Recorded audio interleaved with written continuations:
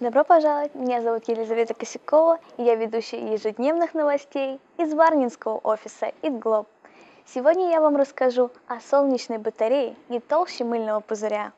Исследователи из Массачусетского технологического института разработали самую легкую и тончайшую в мире солнечную панель, которая может быть установлена практически на любой поверхности, начиная от тканей одежды и заканчивая электроникой – Ультратонкая и гибкая панель, толщина которой около 2 микрометров, составляет 1 пятидесятую часть миллиметров толщины человеческого волоса или 1 тысячную часть миллиметров толщины обычной солнечной панели.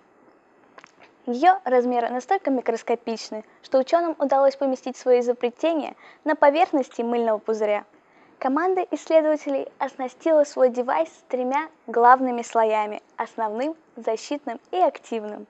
Основной и защитный слой были изготовлены из полиэлена, гибкого полимерного материала, который используется для защиты медицинских имплантантов, в то время как активный светопоглощающий слой был сделан из органического материала под названием дибутилфталат – Главная задумка данного изобретения – это возможность его расположения вместе с непрерывным потоком источника энергии, вследствие чего будет происходить ее постоянное преобразование.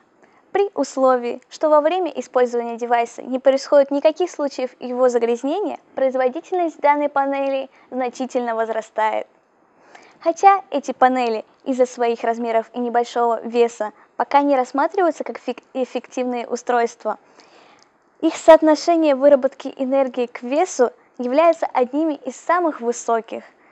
Поэтому в будущем это изобретение сможет использоваться как на поверхности космических кораблей, так и на поверхности воздушных исследовательских шаров. Это все на сегодня. Если вы хотите узнать больше, мы ждем вас на нашем сайте itglobe.ru. Спасибо за просмотр.